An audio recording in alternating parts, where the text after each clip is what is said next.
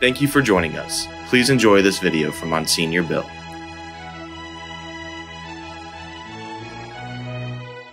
Good day. Good to be back with you. One of the questions that came to me, uh, and I'm going to give you a general answer here about how did the Bible and the books of the Bible get to be in the Bible?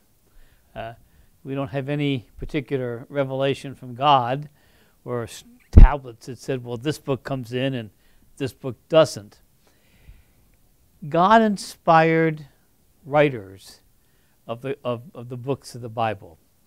And it's really more like a bibliothèque. It's, it's just more like a whole library of books. Did you know there's, there's even a book in the Bible that never mentions God? Song of Songs never mentions God, but it's in the Bible. And we understand that to be a revelation of God. He also would uh, inspire people to write at the time that they lived. So when I we talk about, for example, the book of Genesis, and you know the, the there's a, the fire and the water and all these different things, and God did all this work in, in six days. There's a certain truth to that, a religious truth, but it took a lot more than just six days. It took billions of years. So we have we have to understand the, the, the writing at the time it was written. We can't look back in the 21st century and say, hey, should have said this. That's not the way they thought.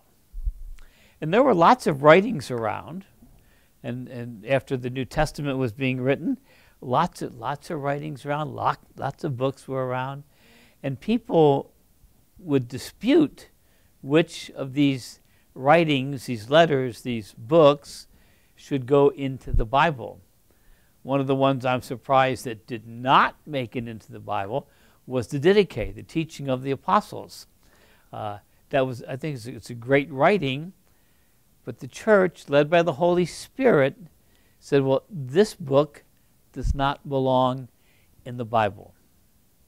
Then we had some people wanting to take things out of the Bible. Uh, but around the, the 16th century, some people they just wanted to. They took seven books out of out of the, out of the Old Testament. Some of them wanted to take out uh, the letter to James because it said, "Be anointed with oil." So there's a lot of conflict that went on there. But the canon of the Bible that we know was formed in about the third century, a couple hundred, 150, 250, about 300 years after Christ. And that's the book that we use now. It was the Hebrew Scriptures, and then, of course, the new Scriptures were set. So it, it's a little complicated, and there's a lot of details, so I can't really get into them right now uh, because I don't know them all. But to, little by little, we have to say, okay, God inspired, the church is given the Holy Spirit, and the Holy Spirit leads. Well, why wasn't the, the Gospel of Thomas put in here? Well, one of the things in there is that uh, he wrote that as they were going down to Egypt, the palm trees would bow over in reverence as the Holy Family was walking by. And the church said, you know, we, we, don't, we don't think that's the way it really happened. The Holy Spirit, so we didn't put that in the Bible. And then and also said, uh, everybody's going to, all, even all the females are going to be changed into men in heaven. Oy, oy, oy.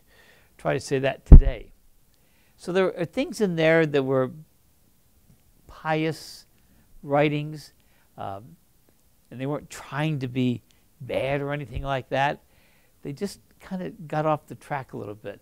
So the church, led by the Holy Spirit and under the, uh, the, the, governance of, of, of the popes, said, okay, finally, these are the books. These are the ones we recognize as inspired scriptures.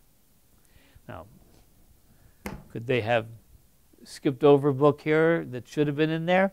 Sure. But we'll never know that because it's not in the Bible. But these are the books we trust. These letters from, from Paul and James and, and Peter, uh, and from the very beginning to the end, that's what that is. So it is a little complicated, but we can trust in the Spirit. We can trust in what Jesus promised for us, that He would lead us in His church to know the truth. And this book, this book will help us do that.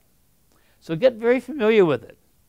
There's lots of uh, good Bible studies on, on, on YouTube and uh, different, different channels like that, so you can learn more and more. But that's kind of the, the canon or the list of the books in the Bible.